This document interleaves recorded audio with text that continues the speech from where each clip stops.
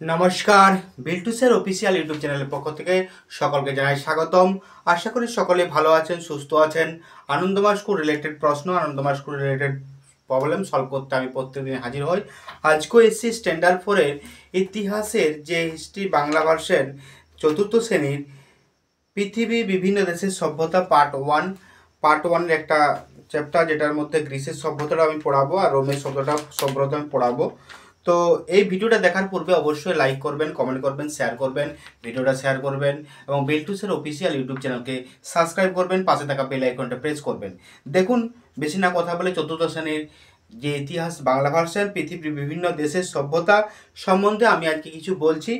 আমাদের মনে রাখতে হবে যে সমাজের বিকাশ কেবল আমাদের দেশেই হয়নি, অন্য দেশেও হয়েছে। আমাদের সমাজের যে বিকাশ, উন্নত ধারা, প্রথম দিকে আমাদের সেসব সম্বন্ধে জানার কোনো সুযোগই ছিল না।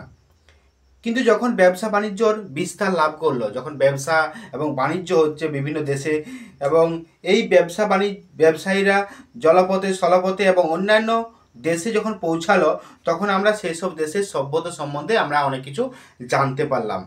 তো ক্রমে ক্রমে এই এক দেশ থেকে অন্য দেশের এই এক ব্যবসায়ীর সম্বন্ধ গড়ে ওঠে, যে আমাদের এই মেদিনীপুর থেকে বাঁকুড়ার যে ব্যবসায়িকের সঙ্গে একটা সম্পর্ক বজায় হয়েছে।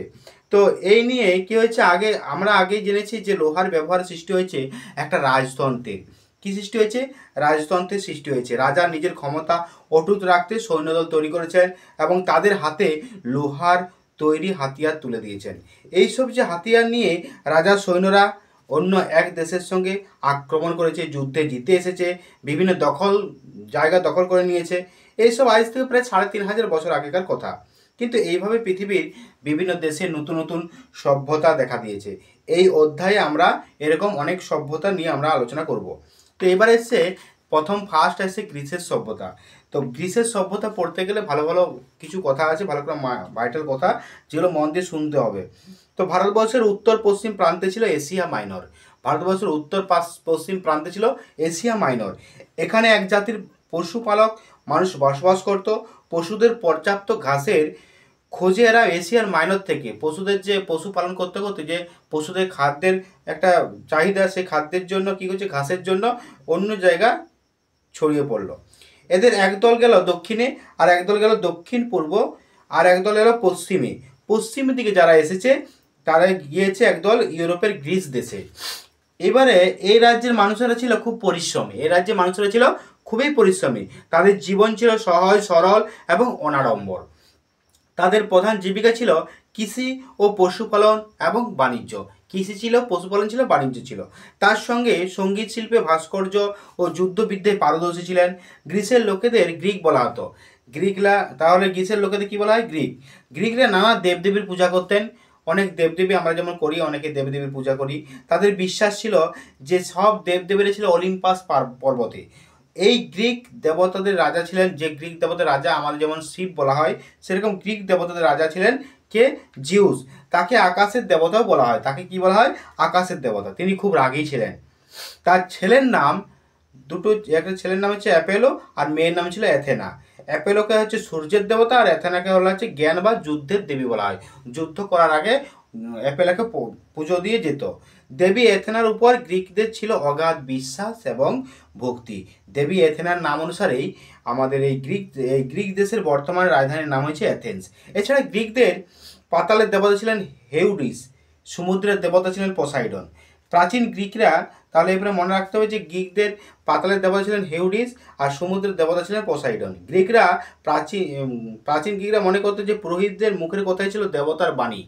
পুরোহিতদের মুখের কথা, যেটা মুখ দিয়ে বলতো, সেটাই দেবতাদের বাণী ছিল।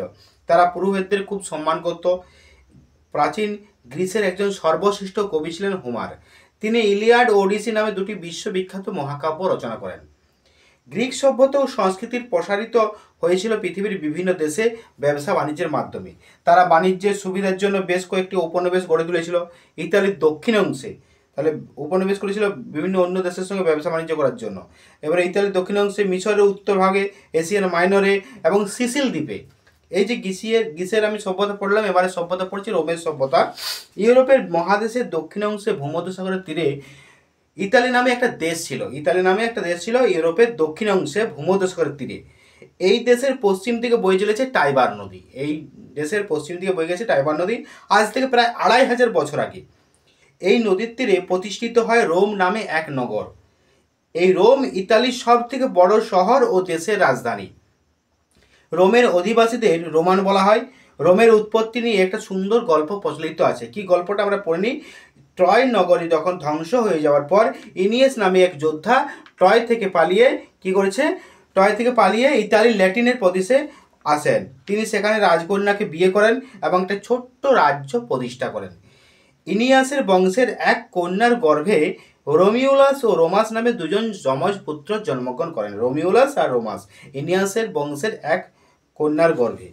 এরা যাতে সিংহাসনে বসতে না পারে, সেখানকার রাজা ওদের দুজনকে নদীর জলে ফেলে ফেলে দেবার হুকুম দিলেন। যাকে হুকুম দেওয়া হয়েছিল, সেই লোকটি ওদের সঙ্গে সঙ্গে সঙ্গে নদীতে না ফেলে একটা ঝুড়িতে করে নদীর ধারে রেখে দিয়েছিল।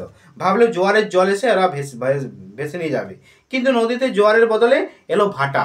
বাচ্চা দুটোকে কি করেছে? নদীর তীরে কাঁদছিল তাদের কান্না শুনে কি করেছে? একটা বাঘিনী তাদের উদ্ধার করে নিয়ে গেল নিজের ডেরায়। বাঘিনী, বাঘের স্ত্রী। এক রাখাল বাঘিনীর কাছ থেকে তাদের উদ্ধার করে নিয়ে গেল নিজের ঘরে।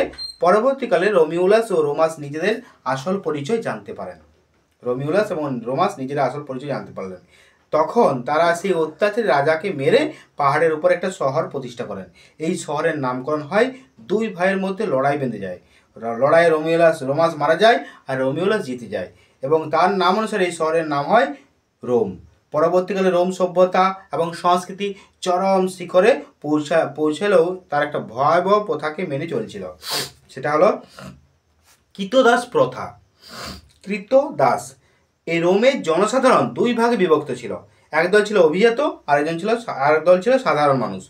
অভিজাতরা সংখ্যায় কম ছিল এবং তাদের হাতেই ছিল সব ক্ষমতা। রোম সাম্রাজ্য বহু কৃতদাস ছিল। যারা কাজ করত। নানা রকম অত্যাচার সহ্য করতে হতো। তাই এদের জীবন ছিল খুবই দুঃখের। সেই সময় রোমানদের আমোদ প্রমোদ ছিল মল্লযুদ্ধ দেখা। আমোদ প্রমোদের প্রধান কারণ ছিল মল্লযুদ্ধ দেখা। মল্লযুদ্ধ হতো কখনো মানুষে মানুষে, আবার কখনো পশু, মানুষের সঙ্গে বাঘের সিংহ, প্রভৃতি পশু, হিংস্র পশুর সঙ্গে। মল্লযুদ্ধের নিয়ম ছিল এক পক্ষের মৃত্যু না হওয়া পর্যন্ত লড়াই চলতে চল থাকবে। এইসব লড়াই যুদ্ধ হতো কৃতদাসরা। ফলে অনেকেরই মৃত্যু হতো। রোমের অভিজাত মানুষেরা ক্যালোসিয়ামে খেলার আসরে বসে হতভাগ্য কৃতদাসদের নিষ্ঠুর নৃত্য মৃত্যু বেশ মজা করে উপভোগ করতো। রোমের অভিজাত মানুষরা যারা টাকা পয়সা বড়লোক তারা ক্যালোসিয়ামে বসে কি করতো? হতভাগ্য কৃতদাসদের নিষ্ঠুর মৃত্যু দেখতো, উপভোগ করতো। রোমের বেশিরভাগ মানুষই ছিল কৃষি বা কৃষিজীবী। এদিকে তারা চাষবাস করে দেশের মানুষের অন্ন জোগাতো এবং অন্যদিকে যুদ্ধের কি করতো?